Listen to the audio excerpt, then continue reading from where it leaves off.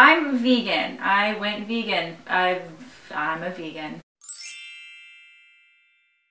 Now initially I was going to do this video and I was going to start drinking while I was doing the video and, and start sober and work my way to a, a nice, gentle, calm buzz. But then I got home and realized there was a lot of dishes in the sink and a lot of cleaning in the kitchen I needed to do that wasn't done like it was supposed to be done.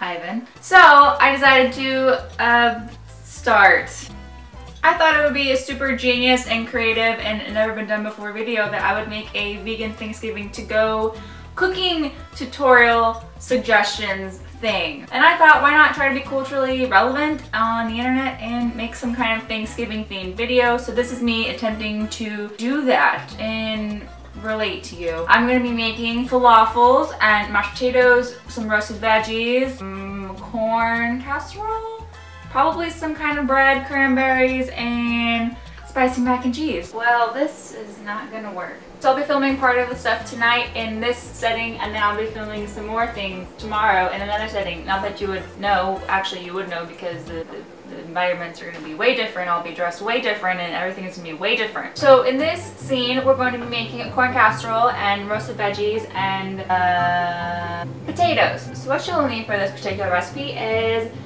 First of all, where's the wine? So you are going to need uh, vegan butter. I, you know what, I'm just not even going to say vegan because I'm going to assume that all of you know you should buy vegan ingredients and I'll have everything linked down below. Not linked, I'm not going to link these things, but I'm going to list them because this is not a sponsored video, so there doesn't need to be links. Butter and cream style corn, sour cream, almond milk, cornmeal or cornbread mix. I like it to be a little bit spicy, so I'm going to add some hatch green chilies that are already chopped because I don't have time for that shit. I already know this isn't gonna work because it's on a spinny chair and the cat keeps spinning it, spinning it. Don't, don't. Basically what we're gonna do is mix all of this stuff together. So I need a bowl. There's no bowl, still no bowl. Are you kidding me right now? Oh my gosh. Okay, well this bowl is not clean.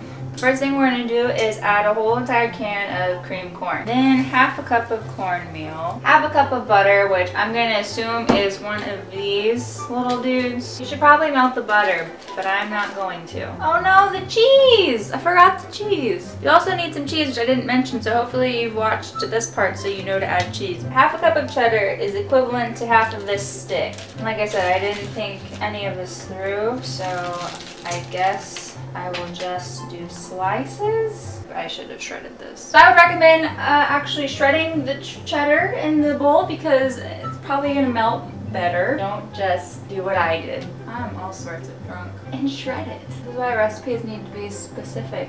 They just said cheddar cheese. Aren't you glad you have me to make these mistakes for you? You know what I just realized? Ivan doesn't have a mixer, like a beater, a blender, the so I'm gonna have to take the butter back out and melt it. It's fine.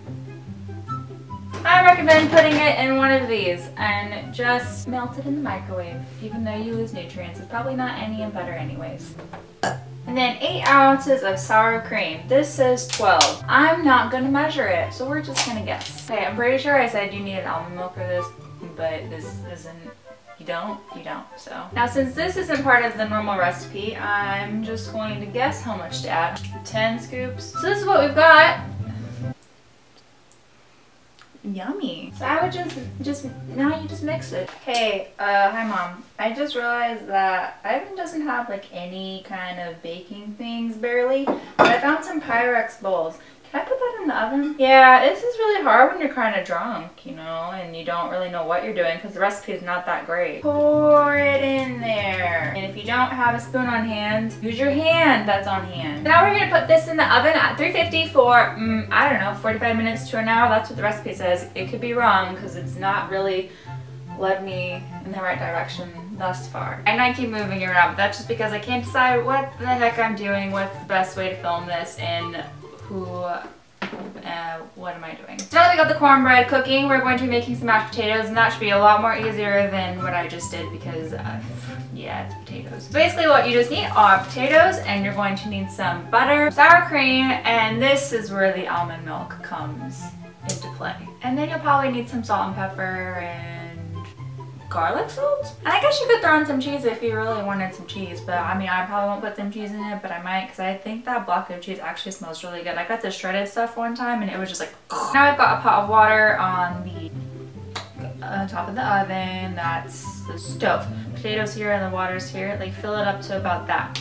So then turn it on high. and Once that gets to bubbling broil, you can put all your potato slices in the pot. And don't forget to salt your water because this is the only point in time you can salt your water or else it's to be ruined. That might be with pasta, not potatoes, but I'm going to take these potatoes, which are these, cut them into equal sizes so I can put them in the pot of water. But I'm also going to cut all the rest of my vegetables that I'm going to be roasting because that makes the most sense. This knife has been known to cut a few fingers off. Literally, our friend Dustin cut his little pinky off with this, so I could die. I'd say that the smaller you cut the potatoes, the faster they cook, but that could be completely wrong. I think it's just that if you don't make them the same size, then they will take a really long time to cook. The vegetables I'm going to be roasting in the oven is a is are they are a zucchini, some Brussels sprouts, and we've got a carrot. I will probably make more of this on the day of Thanksgiving, but right now I'm just cooking for one. Actually, I'm cooking for two right now, so I should probably make more of this now than I plan to on Thanksgiving. But then I will be eating this stuff today, and he'll also be at Thanksgiving. So I'm technically cooking for two people in both situations, so I really should just what you're going to do is just cut up your zucchini into little slices, cut your carrot into little slices, and then take your Brussels sprouts and cut them in half. It's really simple. Cut off the butt and cut off the head. Pretend like you're those people in the Robin Hood days where you're trying to hang someone and you're the person that pulls the lever so you're like decapitating them and you're killing them. So just pretend like you're that person. A guillotine and just guillotine the shit out of your vegetables. So hopefully you've got some veggies that look like this. If you don't, you're probably doing it right. So we're going to take these little dudes and add them to the pot of boiling water that you can probably hear behind me. Now you should have something that looks like this. I'm going to put olive oil or vegetable oil, but probably olive oil or canola oil or uh, what do I have? Some EVOO for all you Rachael Ray fans out there. Then you're going to put salt, pepper, any kind of seasoning. I would definitely recommend Emerald seafood seasoning. It has nothing to do with seafood. It's just something that you put on seafood, but it's really, really best blend of spices I've ever, ever had. And I always use that, but I don't have it today. I have it at my mom's. So maybe just like give them a light, light toss, light rub. Probably put these in a little bowl and then shake it with the olive oil and then put it on the plate. It might be easier, but I didn't do that. So salt, pepper, garlic salt. Yay! The cornbread's still cooking at 350, so I just put these in at 350 as well. These will probably go for 30 minutes, and what you'll do is do 15 minutes on one side, and then annoyingly have to go and flip them another 15 minutes so they get cooked on both sides. Now I can actually show you guys what's going on. Right now we've got the potatoes there cooking. We've got 15 minutes on the clock. About to go in for the big hoop-de-hoop. -hoop make a big scoop-de scoop in basketball net. And then we've got the cornbread thing going and we've got our vegetables in there. So I don't think that looks good. Now that our potatoes are done, we're going to take them and put them in another bowl because we like to be wasteful. And then you're just going to take a fork or some kind of blender or mixer, but we don't have any of that stuff, so a fork is fine. then you're just going to smash everything. Ta-da! Oh, everything's ready. I get it, I get it. Oh my god. The part where I'm really not going to be helpful at all, as if this entire video has been helpful. You're just going to kind of test everything. You're going to just put some milk and some butter, salt, pepper. You can put cheese in if you want, but you're basically just going to keep adding and adding and tasting and tasting until it suits your taste buds. I really like butter, so I'm probably going to add a half a cup of butter. This is a lot of freaking potatoes. But anything I learned from my mom, it was not to add a lot of milk because it could go super, super sloppy and slippy and loopy, slip, swashy, swat, like milky. So just add a little bit of milk and mix it and see what it looks like. Oh, nuts. I just looked at that the corn casserole and it is not looking very good. Well, the butter's coming to the top. It's just looking, it's very jiggly. Anyways, back to the potatoes because those are definitely not screwed up. Now you're just gonna add salt, pepper, garlic salt, any kind of seasoning that you want. Smell good. Mmm. Oh, and some sour cream. Great idea. You're so smart. I mean, it's just slosh. Dump some of it out. Oh no! Okay, you know what? So I'm pretty sure that recipe was just shit. For the corn casserole, I, I didn't do anything wrong. Exactly what it said. It's just not cooking. I'm pretty sure it was way too wet. I should have wow, what? And I should have realized this when I was making it, but alcohol, I think the corn casserole is ruined. So maybe if you make this recipe, don't. And if you do, add a cup of cornmeal. I'm just gonna mix some extra in it, whatever. I didn't show it because it's just too hard. It's too hard to film and cook. Hannah Hart, I don't know how you do this. It's just, no. Okay, so what I did was I just took uh, the out of the oven. It was just too sloshy and I added half a cup or a cup more of that cornmeal. I just mixed it and now I'm gonna put it back in the oven and see what happens because it tastes really good. This is why I'm doing this. It's like my trial run. I'm gonna show you guys how not to do Thanksgiving so that you do it right. Life can be really stressful, but it's okay because cats. So here are the vegetables. I don't know if I showed you. Don't add so much olive oil. I just was really excited to be alive and to be baking and it was too much. That little guy just couldn't handle the heat. Literally. These potatoes are so freaking good. I don't know. I'm super pleased with this.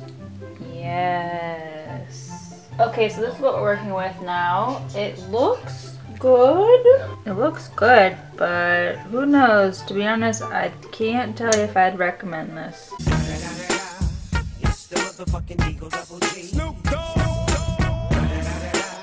You know I'm with the